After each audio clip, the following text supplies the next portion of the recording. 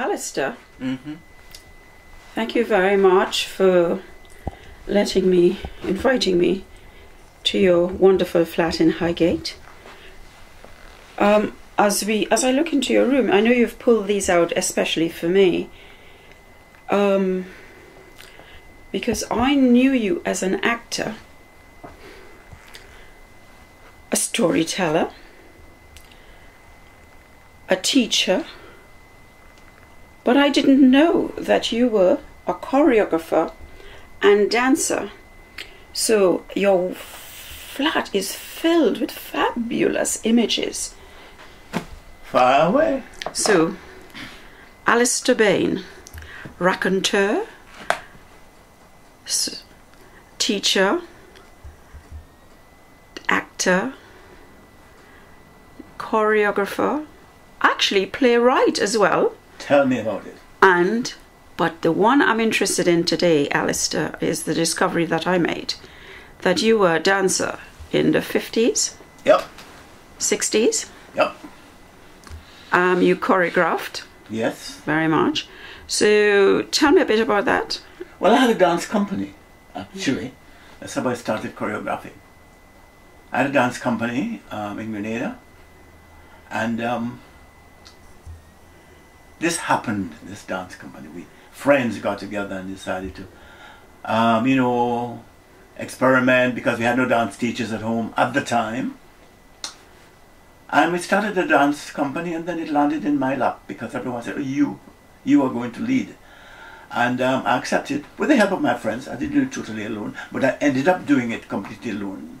Because you know what happens? You start something, and eventually leadership is a very difficult thing. And eventually, I was um, left holding the baby with the bathwater, but it was fun. It's my learning process.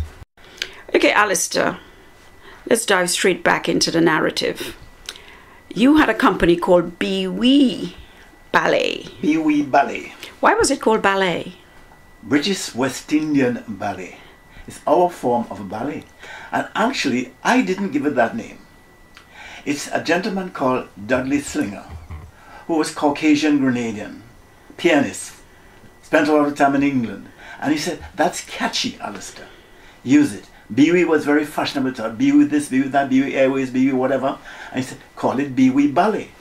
No one's ever called anything ballet as such in the Caribbean. We have Caribbean dance or whatever, dancers. So it was unique in a way and it caught on.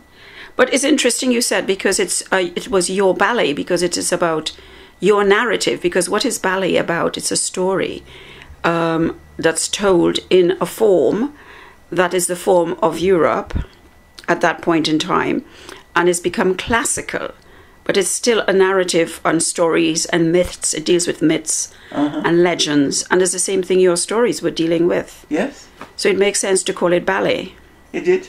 Yeah, because ballet is not just about necessarily being on the tippy toe. Nope. All right. No. So that's interesting. Um, can you tell me some of the things and the people you studied with in the Caribbean?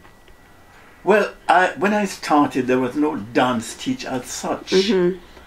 Um, my first lesson in dance, really, if you want to put it that way, was when I went to Jamaica. I went to a seminar there. Um, prior to that, I met Jean Coggins in Grenada, who did showed me a few dance steps because I was always on that path. And everyone who came who can dance or uh, dance out, pick their brains. But uh, the main thing is I went to Jamaica um, for three weeks.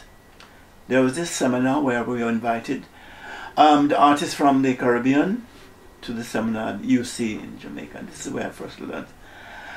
And I was excited, terrified, happy, because I've never had a lesson, I've never been taught before. And suddenly here I am presented with all forms of dance jazz, folk dance, modern ballet, ballet. And I thought, my God, I thought I was a dancer? No way. I've just started out. I haven't scratched the surface yet. And that was the beginning of me. When I went back home, my, my ideas changed. Discipline changed. Because you are now a dancer's art. You've got to have a formula. You've got to have some discipline. Right? You've got to have, in actual fact, as you were speaking, it is about language. So therefore, what you did, you knew, and you were, you all were developing a language of expression in Grenada. Mm-hmm. And when you went to Jamaica, you got exposed to other forms of language, other types of language. That's it. And dance is languages. So every every society, whoops, develops his or her own vocabulary. Mm-hmm. Um, but typical wonderful Caribbean people, mm-hmm. we expose ourselves to absolutely every language there is going. Oh yes. So you end up in dance being multilingual in dance, in actual fact.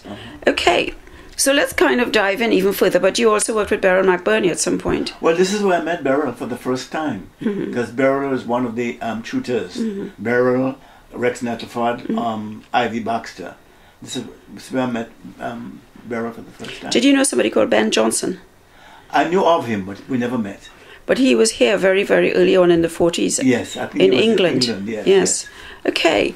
Um, let us kind of just dive in. There's a, a fascinating photo here, Yeah. um, which I quite, because I, as a child, I knew of this. We grew up with it there. I can see between your glasses. Tell me a bit about it. what? Which one? There's a picture there of Dorothy Dandridge, isn't it? Ah, yes, yes. Well, Island of the Sun was made in Grenada. And I, without knowing, changed a few things when we did some entertaining for the stars and the crew, etc., at Santa Maria Hotel. The same Mr. Dudley Slinger, he was more or less managing us, staged this show at the Santa Maria. And in that, we did the limbo as part of our act. But what? Tell me a bit about Limbo. Well, this is almost our national dance in the West Indies. But limbo, uh, with two sticks, everyone has a different story, saying that the slaves escaped by bending backwards under barbed wire, etc., etc. But it's like in the long run, it ended up as a competition. Who can go the lowest to escape or to have fun? One of the best choreographers and the most profound choreographers of Limbo is Julia Edwards. Uh, she did not do it as basic entertainment. She actually brought a whole lot of poetic sensibilities to the form, um, and it was nobody else has actually choreographed um, Limbo to that level as Julia Edwards. Um, and again, it's that thing about when we speak of our own culture, it gets kind of dismissed. But I would think it, it came out of something like the liberation, and it was an expression. It was used as a metaphor mm-hmm. Mm-hmm. for um, for for escaping mm-hmm. the rots of enslavement. So I really, really hold and maybe you know onto that mm, that story. Okay. So tell me a bit about the photo now. Well, this photo is with Dorothy Dandridge, film star who was starring in Island in the Sun. And I had to teach her the limbo simply because, as I said earlier, when Darryl F. Zanuck saw my company working, Who is that? Eh, Zanuck. Darryl F. Zanuck was the producer of 20th Century Fox in Hollywood. Mm-hmm. And he was there to supervise the production of Island in the Sun. Mm-hmm. Now, as you know, uh, when you do limbo, we invite the audience to partake. And we had them coming in. We had Harry Belafonte, we had James Mason, we had Joan Collins, and then Dorothy Dandridge. And I tell you, she raised a storm when she came and went on that stick. Poetry in motion. So that and my dancers around her excited Mr. Um, producer Darryl F. To include this particular thing in the film because it was never there. It's a carnival scene, but the limbo was never there. So I could say, yes, we did it, and they invited us to join because it was a very colorful scene in Islands, and for those who've seen it. And that is you standing next to Dorothy. That is me, dear, when I was slim and young and ready, I'm still ready. Okay, like Freddie. Okay. Yeah, yes. All right, jumping quickly. Let's just move slightly forward. You came to England in what time? 1958. I see a photo here. Um, Another one it's of um, wow, I think that is Carmen Munroe. And is that Nina Baden Semper next door? Let's have a look. And Yes, that's yes, you yes. above there, Yes, actually. Yes, yes. That's in England, isn't it? yes. Okay, tell me a bit about that. And this is choreographed by Beryl McBurnie. Mm-hmm. Right. Um, we did it in Canterbury, the, church in Canterbury, and it's a festival going on there. It's called the Prodigal Son. And Nina, I was the devil's disciple, and Nina and Carmen were the temptresses, and um, that's it. That's part of the um, the scene in in the Prodigal Son. This is in Canterbury. It's Yes. also because in those days there were very little avenue for dance. The churches were very good, in actual fact, in spaces for dance, isn't it? Yeah, and there were sometimes good places to rehearse. You mm-hmm. know, The churches. Yeah. The churches definitely opened their doors to dance at that point in time. In the whole, they were very instrumental in the development of dance, isn't it? well, they helped. Yeah. they helped. Yeah. Mm. Well, yeah, very, very, because rehearsal space is crucial. I mean, now we're suffering for for rehearsal space Mm-hmm. Oh, like you just would not Yes. like to know. Yes. Um, yeah, so um, tell me a bit about. Um, so when you choreographed in England, because you did do some choreography in in um, in in England, tell me a bit about that. Yes, well, um, because of Island in the Sun, when I came here, I my company appeared, guest appeared in Shirley Bassey's show mm-hmm. called Chelsea at Nine. From then, we got another contact, which was based on the Island of the Sun contact, to choreograph for a television, one episode of a tele- television series called Knight Errant Limited. And I choreographed a very brief scene in that, right? Mm-hmm, mm-hmm. But my big one here, choreographing, is the carnival. Mm-hmm. Carnival in England, indoors. That's where it started. Claudia Jones, deceased. She excited and ignited and encouraged. And she staged the first Caribbean carnival, Trinidad carnival, at King's Cross, right? And then it went from one town hall to the next. It went to it was St Pancras, St. Pancras, and then it went to to Seymour, uh huh. Seymour Town Hall, and then it's headed for the streets, Mm-hmm. right? So But then you also did a lot of choreography for cabarets.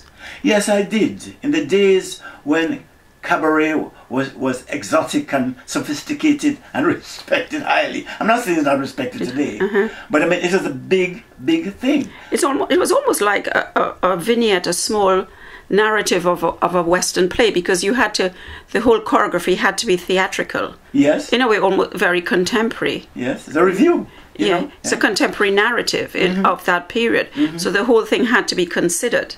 So it wasn't. Um, so tell me a bit about the choreography for that. Well, I did something at the Churchill nightclub, and then I subsequently worked with Boscoe Holder at the Mayfair, the Candlelight Rooms, and a few um, hotels um, around the city. And then I went out to Birmingham, Manchester, to do various things here and there, weekend, week, whatever, touring. So you're always spreading the dance. Yeah. Um, and did you find when you were dancing in the nightclubs or in the well at the Mayfair Hotel because those were big big stages. Oh, yes. And the cabaret, as you said in those days, were like a show. It's a small show. Yes, yes. You know, just like how you have a musical or now yes. and stuff. So it was it wasn't it the whole thing had to be thought of, considered, costuming, staging, lighting, all of that was Oh yes, it was big times because take for example, people like Ella Fitzgerald, um, Lena Horne appeared in these places. They had a star. It is like the, the Palladium, for example. They were the sort of equivalent to. Um, there were various venues for that sort of thing. So therefore, the whole kind of st- you all were bringing a new form of dance to Britain. Yes, we are in a variety show, and we are bringing what we had from our country. And what? Tell me a bit about what you had from your country. Well, I brought folk dance from my country. What is folk dance? West Indian folk dance, based on our um, everyday life, or the African tradition, and the complete potpourri of all the cultures we had boiled into one boli, one mortar. Tell me a bit about the potpourri of cultures? Well, we had African dance, which is called nation dance. Mm-hmm. We had um, we had the, the French um, element. Then we had the English um, with the quadrille, etc., etc.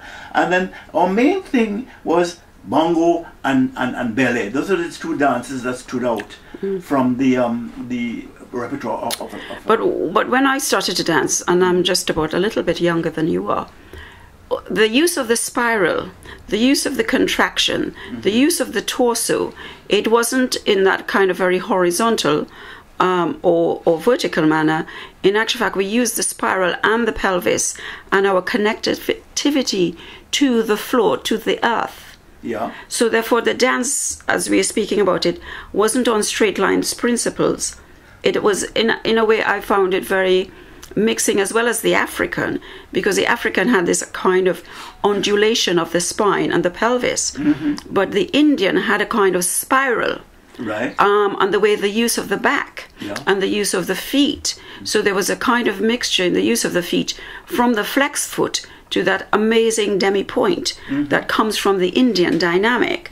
So, um, so I don't know if in your generation you were using that spiral, and that's why we use a lot of fluid cloth. So when we move, so it's very much in a way very what we'll call Graham-esque or contemporary, but it is actually of those cultures. Yeah, yeah. Well, I mean, say, give it a title, give it a name, Graham-esque, whatever. Um, Pearl Primus, Burma Bunny, you know. Katherine Oh, Dunham. Katherine Dunham, yeah, yeah. Um, but you see, again, we danced in, in, in the Caribbean, and we still do, in that we dance with our entire bodies, and then we would adapt to other dances and, and, and, and disciplines. But really and truly, when we heard music, we danced. As a matter of fact, one of these articles that this um, writer um, did about my company that he said that when we dance, we dance with everything: our eyes, our toes, our head. Is this is this is this um is this this picture here? I That's think it. that